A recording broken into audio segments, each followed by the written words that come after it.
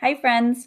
We have been talking about American traditions from the 1800s and early 1900s. And in America, people used to go from one place to another using um, horse and buggy. And it was a, a good way of um, going from one place to another um, that is still used by people today, um, especially in uh, um, the mountains of Virginia, where I grew up. I had friends who were um, used the had the religion of Mennonite, and the the my Mennonite friends.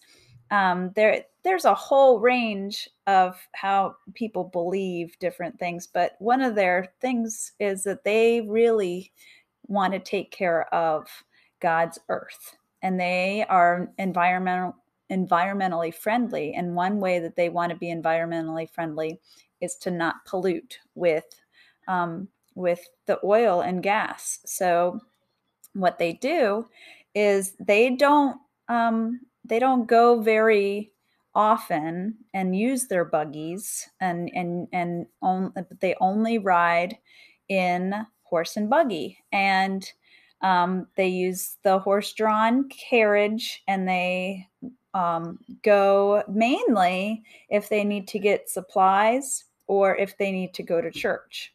But most of the other time, they don't really um, leave their their farm a lot. So um, I want to do a song that celebrates the horse and buggy um, that most people used to travel in in the 1800s, but now a few people still use that mode of transportation because they want to keep pro, uh, protecting the earth. Hi, friends. We are going to do the song Riding in a Buggy. Riding in a buggy, Miss Mary Jane, Riding in a buggy, Miss Mary Jane, long way from home. Riding in a buggy, Miss Mary Jane, Miss Mary Jane, Miss Mary Jane. Riding in a buggy, Miss Mary Jane, long way from home. Good, let's listen again. Riding in a buggy, Miss Mary Jane, Miss Mary Jane, Miss Mary Jane.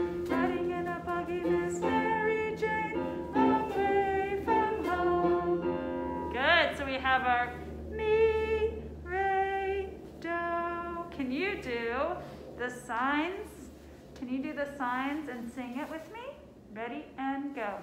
Riding in the buggy, Miss Mary Jane, Miss Mary Jane, Miss Mary Jane. Riding in a buggy, Miss Mary Jane, long way from home. Oh, wow. Could you please, every time we say the word riding, will you please cat? Can you do that? Ready and go. Riding in a buggy, Miss Mary Jane, Miss Mary Jane, Miss Mary Jane. Riding in a buggy, Miss Mary Jane, long way from home. Oh, I love that idea. Miss Winkler put a little sound after the, like as a period. Can we snap? Can we snap when we do a peer after uh, after our song ends? Can we just fill that space up with a snap? All right, so we're gonna do our pat, keep that on riding, and then at the very end do a snap. Ready and go. Riding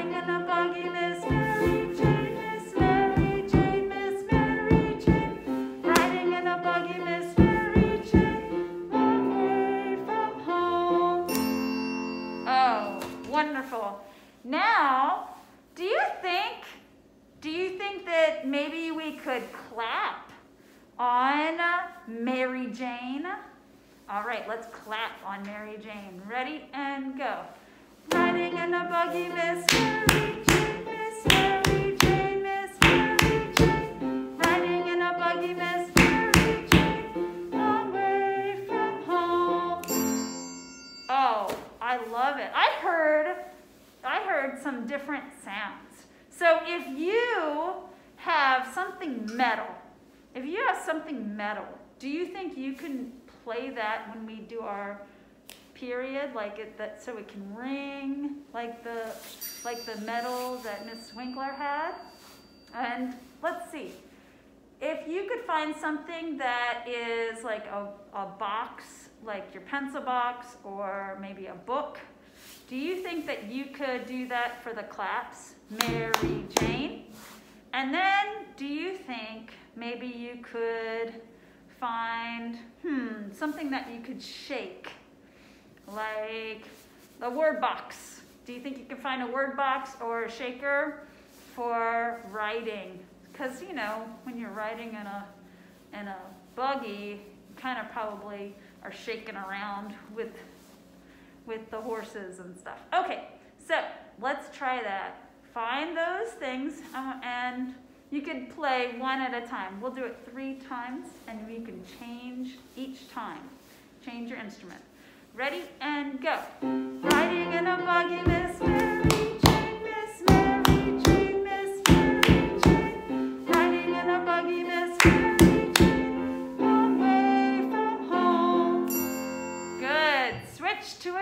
instrument.